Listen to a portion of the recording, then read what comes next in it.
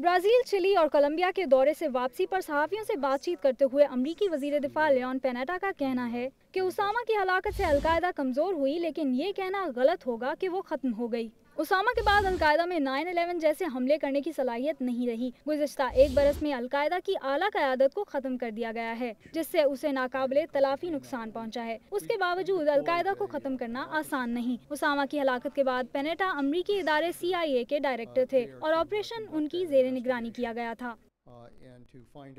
uh,